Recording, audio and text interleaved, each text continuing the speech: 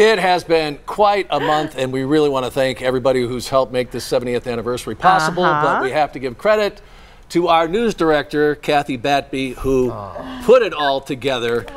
Uh, really. Kathy, come on come on. in, Kathy. She's, Come she's on. making Yeah. faces behind the camera. We have to say, Kathy has been a big part of News 4 Tucson's family since 1999.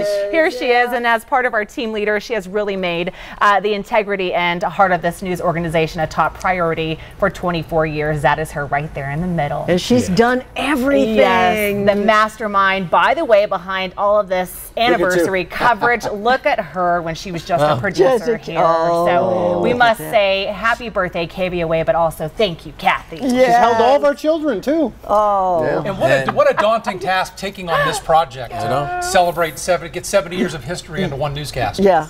You even got the cake, right? And look at all the people we had here. And you saw the people that came and uh, Just came into the studio and then said hello. If they couldn't get here, Yes. we got them on tape. Just fantastic. Dan Hicks, John, Joe Donlin, just so many, one after uh-huh. another. It has been a fantastic. Patty, Russ, Jimmy Yes. Stewart, Yes, everyone was Jimmy here. Stewart. And Savannah awesome. got three this morning, so we have to say thanks, guys, for being here. no for one said there was sure. gonna And cake. We got cake.